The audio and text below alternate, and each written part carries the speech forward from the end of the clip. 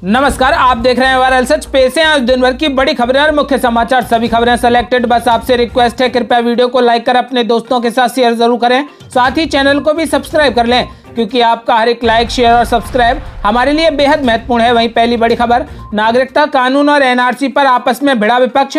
कांग्रेस और सीपीएम ने ममता बनर्जी को बताया बीजेपी की बी टीम दरअसल आपको बता दें कि नागरिकता संशोधन कानून और एनआरसी के खिलाफ विपक्ष लगातार विरोध कर रहा है। लेकिन अब अपनी राजनीति चमकाने के लिए विपक्ष आपस में भिड़ता नज़र आ रहा है। पश्चिम बंगाल में विपक्षी दलों, कांग्रेस और सीपीएम ने सत्तारूढ़ तृणमूल कांग्रेस को बीजेपी की बी टीम करार देते हुए मुख्यमंत्री ममता बनर्जी पर विधानसभा में नागरिकता कानून के खिलाफ प्रस्ताव पारित करने से जानबूझकर बचने का आरोप लगाया है। वहीं मध्य प्रदेश में फ़िल्मों पर बड़ी सियासत, कमलनाथ ने टैक्स फ्री की छपाक तो बीजेपी ने बांटे तानाजी के फ्री टिकट।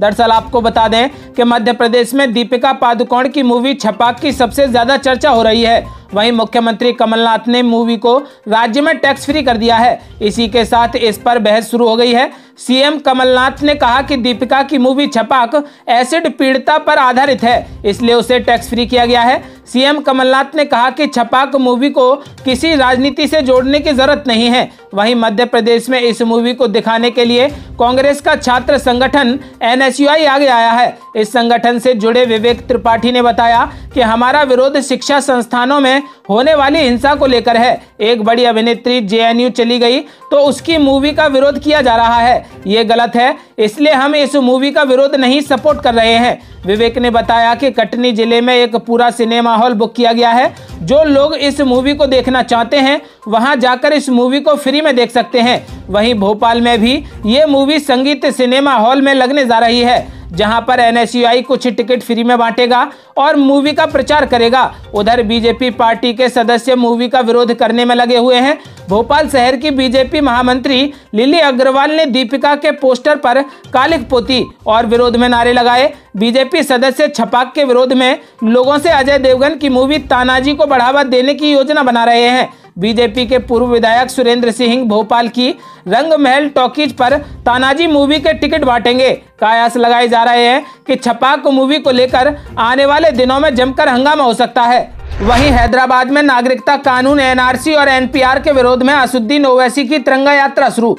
दरअसल आपको बता दें कि नागरिकता संशोधन कानून, एनआरसी और एनपीआर के विरोध में एआईएमआईएम अध्यक्ष असुद्दीन ओवैसी अपने समर्थकों के साथ हैदराबाद में तिरंगा यात्रा निकाल रहे हैं। इस यात्रा में भारी संख्या में लोग मौजूद हैं और सरकार के खिलाफ नारेबाजी कर रहे हैं। ओवैसी की ये तिरंगा पदयात्रा मीर आलम ईदगाह से शास्त्री पुरम तक जाएगी। पदयात्रा को लेकर ओवैसी ने ऐलान किया है कि वह चार मीनार पर तिरंगा लहराएँगे। इसके लिए उन्होंने 10 बाई 30 फुट लंबा तिरंगा बनवाया है। यह पदयात्रा करीब चार किलोमीटर तक चलेगी। वहीं दिल्ली में बीजेपी मुख्यमंत्री के नाम का ऐलान नहीं करेगी, पीएम मोदी के चेहरे पर लड़ेगी चुनाव। दरअसल आपको बता दें कि दिल्ली में विधानसभा चुनाव के लिए आचार संहिता लागू हो चुकी है और सभी पार्टियाँ अपने अपने उम्मीदवारों की घोषणा जल्द करने वाली हैं। आम आदमी पार्टी की तरफ़ से ज़ाहिर तौर पर मुख्यमंत्री केजरीवाल मुख्यमंत्री का चेहरा है, जबकि बीजेपी पार्टी की ओर से मुख्यमंत्री के नाम का ऐलान नहीं होगा। बीजेपी प्रधानमंत्री मोदी का चेहरा और काम को आगे रखकर विधानसभा चुनाव लड़ेगी। वहीं बच्चे को स्कूल भेजने वाली माँ के खाते में डायरेक्ट पंद्रह हज़ार रुपए ट्रांसफ़र करेगी सरकार, लॉन्च हुई नई स्कीम। जी आपको बता दें कि आंध्र प्रदेश के मुख्यमंत्री वाई एस जगनमोहन रेड्डी ने गुरुवार को राज्य सरकार की महत्वाकांक्षी योजना अम्मा वोडी की शुरुआत की है। इस योजना का उद्देश्य लाखों गरीब और जरूरतमंद माताओं को उनके बच्चों को शिक्षित करने के लिए सहायता प्रदान करना है। रेड्डी ने राज्य के बयासी लाख बच्चों के लाभ के लिए लगभग तैतालीस लाख माताओं के खातों में पंद्रह हज़ार रूपए की वार्षिक वित्तीय सहायता देने वाली इस योजना की शुरुआत की है। वहीं अखिलेश यादव ने कहा कि नागरिकता कानून का विरोध करने वाले लोगों पर सरकार ने कराया हमला।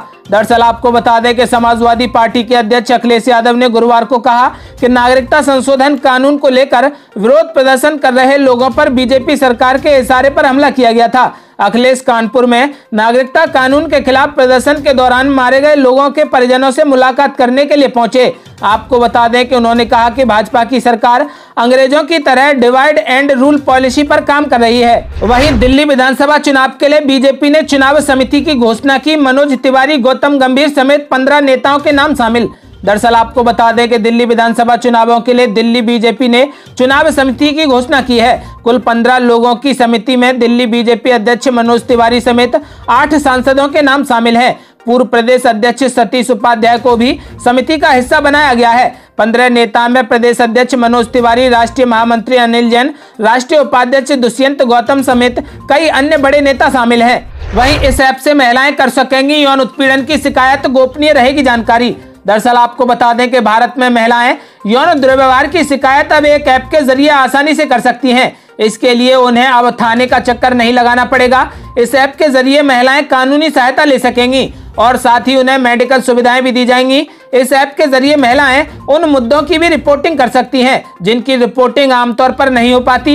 इस ऐप का नाम स्पेस बोर्ड है। आपको बता दें कि पूरी तरह से यह प्राइवेट और इंक्रिप्टेड होगा। इस ऐप के ज़रिए यौन पीड़ित महिलाएँ फ़ोटो स्क्रीनशॉट कोई भी डॉक्यूमेंट वीडियो और ऑडियो सबूत के तौर पर सेव कर सकती हैं। इस ऐप के ज़रिए पीड़ितों को मेडिकल के साथ साथ कानूनी मदद मिलेगी।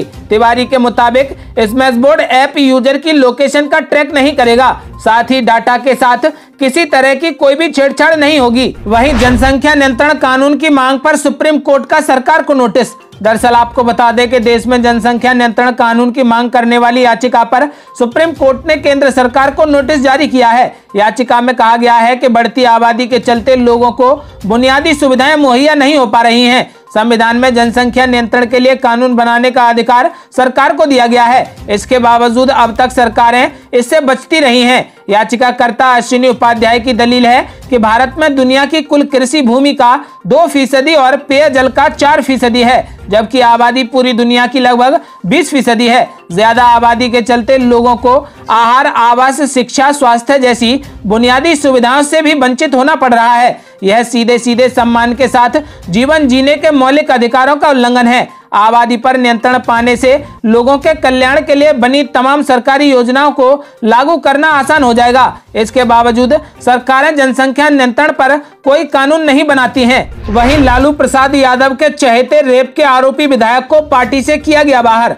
दरअसल आपको बता दें कि लालू यादव ने अपने दो पुराने विश्वास पात्रों को पार्टी से बाहर कर दिया है। इसमें से एक विधायक बलात्कार के मामले में फरार चल रहा है। वहीं दूसरा पूर्व विधायक बलात्कार के मामले में सजा काट रहा है। इस बात का ऐलान आरजेडी के प्रदेश अध्यक्ष जगदानंद सिंह ने किया है। उन्होंने कहा कि बलात्कार के आरोपी आरजेडी विधायक अरुण यादव और पूर्व विधायक राज वल्लभ यादव को पार्टी से बाहर का रास्ता दिखा दिया है। वहीं स्मृति ईरानी का हमला भारत के टुकड़े करने का सपना देखने वालों के साथ गई दीपिका पादुकोण।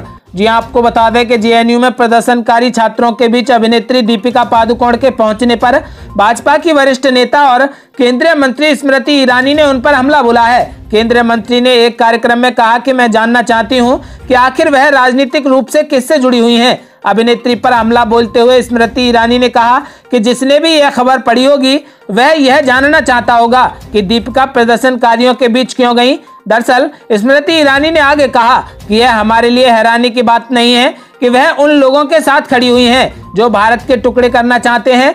वह उन लोगों के साथ खड़ी हुई हैं जिन्होंने लाठियों से लड़कियों की पिटाई की है। वहीं पसंद का मंत्रालय नहीं मिला तो छह दिनों तक घर में ही कैद हो गए कांग्रेस नेता अब उद्धव ठाकरे ने मान ली मांग। दरअसल आपको बता दें कि महाराष्ट्र सरकार के एक मंत्री छह दिनों तक कोप भवन में ही रहे, लेकिन तभी बाहर निकले जब उनकी मांग मान ली गई। ये मंत्री कांग्रेस के विजय वडेट्टीवार हैं, जो कि खुद को मिले मंत्रालय से बेहद नाराज़ थे। आपको बता दें कि पिछले विधानसभा में विजय वडेट्टीवार विपक्ष के नेता थे। तीन पार्टी वाली उद्धव ठाकरे की सरकार आने पर उन्हें भूकंप, पुनर्विकास, नमक, भूमि और ओबीसी का मंत्रालय दिया गया था। लेकिन बडेट्टीवार इससे नाखुश थे। उनकी मांग थी कि उन्हें मदद पुनर्विकास मंत्रालय भी दिया जाना चाहिए, जो कि शिवसेना ने अपने हिस्से में ले लिया था। लेकिन अब शिवसेना नेता उद्धव ठाकरे उनकी बात से सहमत हो गए हैं। वहीं टिकटॉक पर बच्चों का नहीं हो पाएगा शोषण, कंपनी ने लिया ये बड़ा फैसला। दरअसल आपको बता दें कि आखिरकार टिकटॉक को वो फैसला लेना पड़ गया, जिससे अब तक कतराती आई थी। सरकार और सिविल सोसाइटी की ओर से बढ़ते दबाव के बीच चीन की सोशल मीडिया कंपनी टिकटॉक ने बच्चों के अकाउंट बंद करने का फैसला लिया है। कई स्वयंसेवी संस्थाओं ने आरोप लगाया था कि इस समय सोशल मीडिया पर, इस साइट पर बच्चों के साथ मानसिक और यौन शोषण होता है। वहीं दिल्ली जीतने के लिए भाजपा को सिर्फ़ मोदी और शाह पर भरोसा, केजरीवाल के मुकाबले कोई नहीं। दरअसल आपको बता दें कि भाजपा के पास दिल्ली में ऐसा कोई भी गद्दावर चेहरा नहीं है। जो आमने सामने के मुकाबले में केजरीवाल को टक्कर दे सके। किसी को मुख्यमंत्री उम्मीदवार बनाए बिना ही प्रधानमंत्री नरेंद्र मोदी के नाम पर चुनाव लड़ना ज़्यादा बेहतर रणनीति होगी। महाराष्ट्र, हरियाणा और झारखंड में राज्य भाजपा नेताओं की विफलता के बाद दिल्ली विधानसभा चुनावों में भाजपा के केंद्रीय नेताओं को दिल्ली भाजपा में ऐसा कोई भी नेता नहीं दिखता, जो मुख्यमंत्री अरविंद केजरीवाल को सीधी टक्कर दे सके।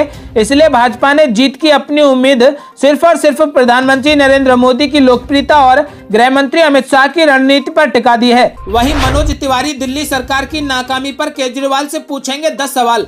दरअसल आपको बता दें कि दिल्ली बीजेपी के प्रमुख मनोज तिवारी ने कहा कि वह आप सरकार की नाकामी पर मुख्यमंत्री अरविंद केजरीवाल से 10 सवाल पूछेंगे और उम्मीद करते हैं कि वह समय से इन सवालों का जवाब भी देंगे। उन्होंने दावा किया कि केजरीवाल के पास बताने के लिए कोई उपलब्धि नहीं है। और इसलिए वह गंदे पानी की आपूर्ति सड़कों के गड्ढों, प्रदूषण और सार्वजनिक परिवहन की खराब हालत पर लोगों के सवालों से बच रहे हैं। तिवारी ने मुख्यमंत्री से पूछा कि पिछले पाँच साल में उनकी सरकार ने नगर निगमों की बकाया बीस हज़ार करोड़ रुपए की राशि क्यों नहीं जारी की? उन्होंने कहा कि केजरीवाल के लिए आज का सवाल यह है कि नगर निगमों की बकाया बीस हज़ार करोड़ रुपए की राशि चोरों की तरह क्यों रखी गई थी? इस राशि का इस्तेमाल नगर निकायों के कर्मचारियों की तनख्वाह का भुगतान करने के लिए किया जा सकता था।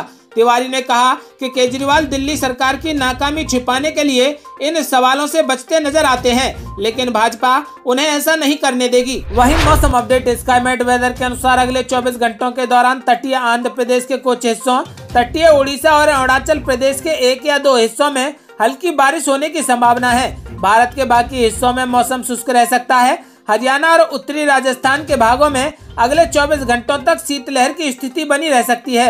देश के पूर्वी हिस्सों में न्यूनतम तापमान में और गिरावट हो सकती है, लेकिन उत्तर पश्चिमी मैदानी इलाकों में मामूली वृद्धि होगी।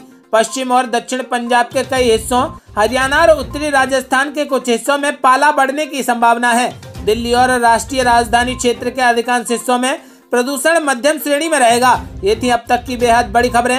यदि आप हमारे चैनल पर नए हैं तो अभी का भी चैनल को सब्सक्राइब करें और वीडियो को लाइक कर अपने दोस्तों के साथ शेयर ज़रूर करें। जल्दी मिलते हैं बड़ी अपडेट के साथ। तब तक के लिए जय हिंद, जय भारत।